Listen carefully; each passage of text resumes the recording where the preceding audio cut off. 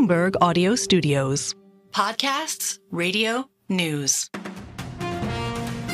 This is the Bloomberg Daybreak Europe podcast, available every morning on Apple, Spotify, or wherever you listen. It's Friday, the 22nd of November in London. I'm Caroline Hepker. And I'm Stephen Carroll. Coming up today, American defense firms are warned of the threat of Russian sabotage as Moscow fires an experimental missile at Ukraine. Exit Gaetz, enter Pam Bondi. President elect Trump is forced to find a new nominee for US Attorney General. Plus, as the rich and famous flood a once quiet part of Portugal, the designer Christian Louboutin is among those fighting to save the region. Let's start with a roundup of our top stories. US intelligence agencies have warned American defense firms to be alert for Russian sabotage as Moscow seeks to undermine support for Ukraine. In a joint statement, the National Counterintelligence and Security Center, the FBI, and others said Russia's sabotage activities in Europe increase the risk to US companies abroad and potentially at home. Russia so far focused mainly on European targets, including a foiled plot to assassinate the CEO of German arms maker Rheinmetall. President Biden's administration recently warned allies about the risk of stepped up Russian sabotage if the US and its allies allowed Kiev to fire Western weapons deep inside Russia. The threat of sabotage against Western businesses comes as the US confirmed that Russia has fired an experimental intermediate range ballistic missile at Ukraine. President Putin said the attack was in retaliation for Ukraine's use of American and British made missiles on Russian territory earlier this week. In a TV address, Vladimir Putin also raised the possibility of attacking UK or US military facilities in response. We consider ourselves entitled to use our weapons against military facilities of those countries that allow their weapons to be used against our facilities. And in the event of an escalation of aggressive actions, we will respond decisively. Putin, speaking of a translator there, the Russian leader has lowered the threshold for the use of Moscow's nuclear arsenal after President Biden allowed Ukraine to use US supplied ATACMS missiles to hit Russia. Ukraine also began using UK made Storm Shadow missiles against Russian targets this week. Donald Trump has nominated former Florida Attorney General Pam Bondi to run the Justice Department. The decision comes after the president elect's previous pick, Matt Gaetz, withdrew from consideration for the role yesterday. The former congressman was facing scrutiny over allegations of sexual misconduct. Gates denied them, but there were questions as to if he had enough support to be confirmed. In Pam Bondi, Trump is elevating another long-time ally with Florida roots. Here's Republican strategist Tricia McLaughlin. She's the first female attorney general in Florida. She's known to be highly competent. She's been a highly effective spokesperson for Donald Trump. So, I mean, I think she's going to definitely have a pathway to confirmation, and I think she will absolutely act in a loyal way. Republican strategist Tricia McLaughlin speaking there. In the first Trump administration, Bondi worked out of the White House, assisting in communications related to his first impeachment trial. After years of benign moves, volatility soared following the US presidential election. Now, currency traders are betting that Donald Trump's policy agenda will jumpstart it again in the $7.5 trillion a day foreign exchange market. Bloomberg's Tiwa Adebayo has more now. Hedge funds are scooping up options contracts that pay out if currency swings increase in anticipation of January's presidential inauguration. It's not yet clear how quickly Trump will implement policies such as trade tariffs, which could cause pain for the euro. But investors are pretty certain unpredictability will be a major feature of his term. There's also the unknown factor of how countries will respond to Trump's measures and what impact those countermeasures will have on markets. Right now, traders are expecting a stronger dollar and greater macroeconomic divergence, leading to bigger FX moves. The trend marks a sharp turnaround from the past few years when central banks raising then cutting interest rates led to a period of calm. In London, Tiwa Adebayo, Bloomberg Radio. Ken Griffin says he would consider selling a piece of his $65 billion multi strategy hedge fund, Citadel. Speaking to Bloomberg at the Economic Club of New York, the financier added he could see working with a partner like Sequoia Capital, which invested in Citadel securities, but ruled out an IPO for the market maker due to regulatory concerns. When asked about his expectations of a second Trump administration, Griffin, a major donor to Republican politicians, expressed significant trepidation. I am gravely concerned that that the rise of tariffs puts us on a slippery slope towards crony, cronyism capital. Ken Griffin there speaking to Bloomberg's Sonali Basak. He also shared worries about other expected policies from the Trump from the president elect, including mass deportations, and cautioned Republicans about the impact of tax cuts on the national debt. Here in the UK, consumer confidence rose in November after the new government's budget. GfK has put the surprise increase to minus 18 on their index down to uncertainty over Labour's tax and spending plans ending. However, overall confidence remains below August levels, which were taken before Prime Minister Keir Starmer warned of painful decisions. Those are our top stories on the markets. The S&P 500 closed on Thursday in the green, up half of 1% as Nvidia shares reversed earlier losses and closed up by half of 1% as well. The dollar strengthened four tenths yesterday. It's a tenth stronger today on the Bloomberg Dollar Spot Index. The euro trading at 104.68 against the greenback. Brent climbed 2% yesterday. It's up another tenth of 1% today at $74.31 on geopolitical tensions. Gold also rallied seven tenths of 1%. Overnight, we've seen Bitcoin hit another fresh all time high at $99.4, $99,400, uh, dollars, just slightly below that level at the moment. In Asia, Japanese shares are higher, but China and Hong Kong are lower. The Hang Seng is down by 1.8%. Those are the markets. We'll discuss the latest escalatory events in Russia and Ukraine in just a moment, and also uh, a deep dive report uh, on a really interesting topic the ultra rich flooding a once quiet part of Portugal. Christian Louboutin is among those who's fighting to save the region. But before we get into those big conversations, uh, I was reading this on the Bloomberg terminal um, this morning about airline premium- premiumization. That's impossible to say, but earlier this week, do you remember we were discussing how Delta um, was going to allow first class passengers to be able to order, mm. order a hamburger uh, on the on the plane? Well, Bloomberg Business Week's been looking into this idea of premiumization. Pre pandemic, the big US airlines spent ages sort of experimenting with all those extras. You know, obviously the front row seats that have got ed- extra leg room and kind of slightly better snacks.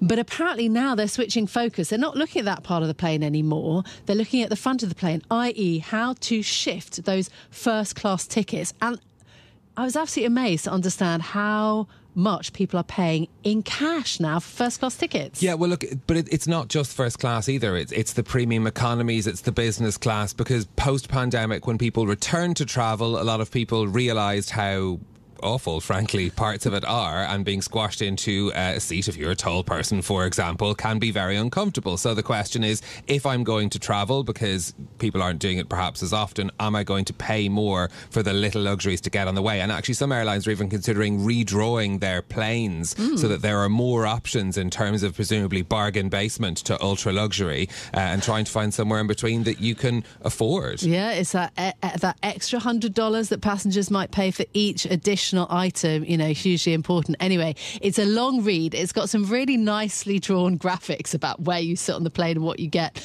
Uh, and it's in, yeah, on the Bloomberg Terminal, on the website, and in Business Week. Caroline always turns left when she gets on a plane. That's all I know. Let's bring you more, though, on our top stories this morning. And we've heard from the Russian President Vladimir Putin speaking on Thursday as US intelligence and national security agencies warn of Russian threats to US defense companies. Our EMEA News Director, Rosalind Matheson, Matheson joins us now for more. Ros, good morning. So, this warning from the US to defence firms about Russian sabotage, uh, European firms have already seen instances of this. What is this warning about? Well, it's in the realm of what we've seen over the past couple of years since Russia invaded Ukraine, which is this hybrid warfare that's accompanied that. So, you know, cyber attacks, episodes of sabotage, and so on. We've seen that a lot from all corners on this war. And we're seeing European nations warning of this and increasing their drills against cyber attacks and attacks on things like electricity grids. And this shows rising concern, this particular warning that the Russian intelligence services might be using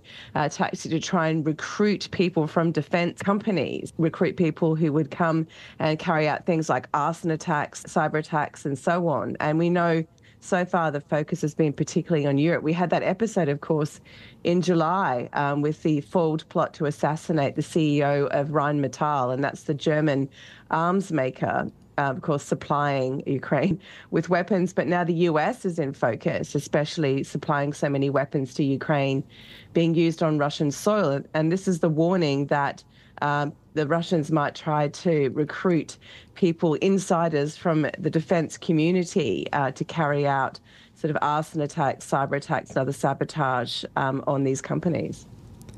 Well, Putin gave a televised speech on Thursday. Uh, he was talking about um, a number of issues, but this, as he and Ukraine say that Russia launched this new kind of missile this week, an experimental intermediate range ballistic missile on Dnipro. Why is that being seen as so significant?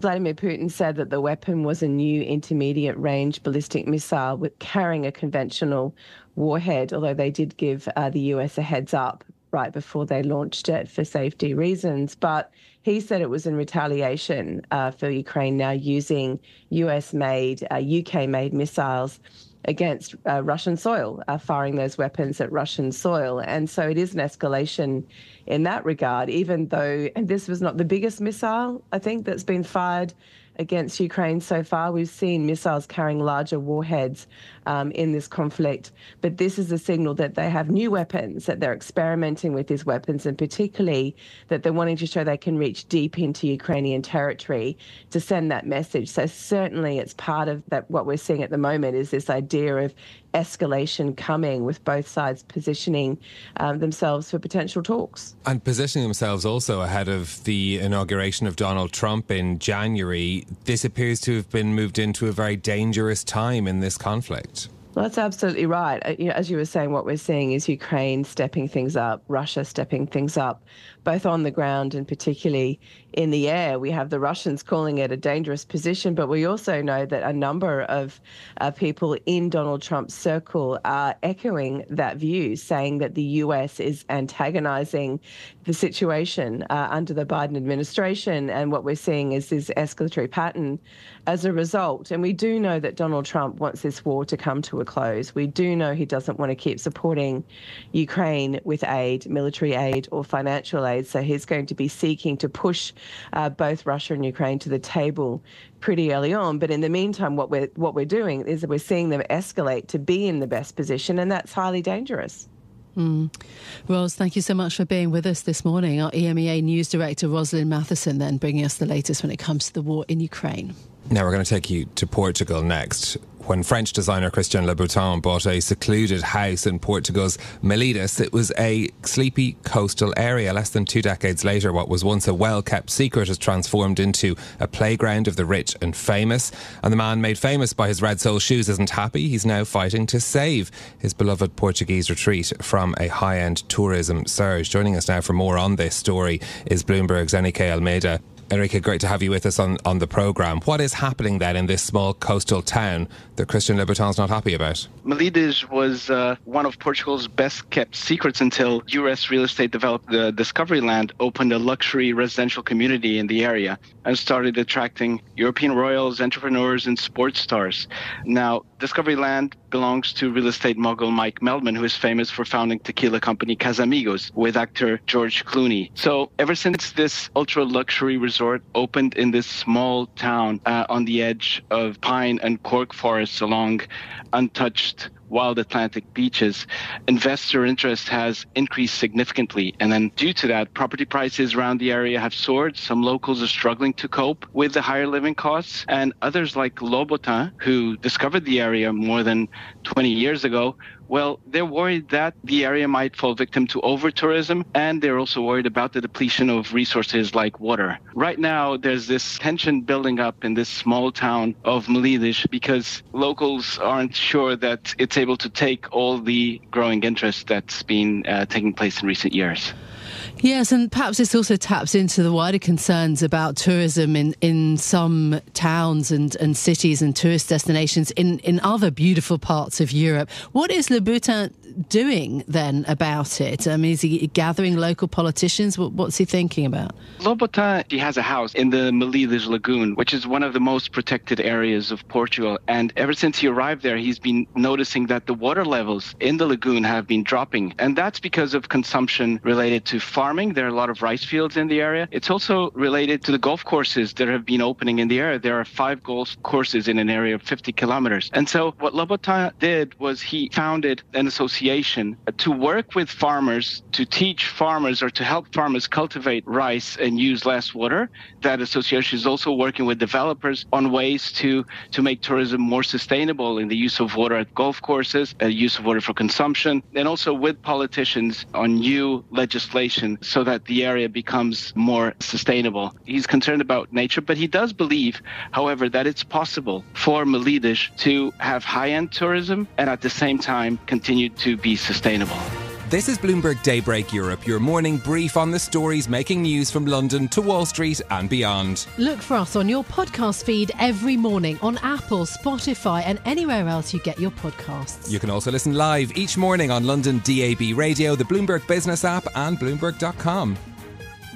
Our flagship New York station is also available on your Amazon Alexa devices. Just say, Alexa, play Bloomberg 1130. I'm Caroline Hepker. And I'm Stephen Carroll. Join us again tomorrow morning for all the news you need to start your day, right here on Bloomberg Daybreak Europe.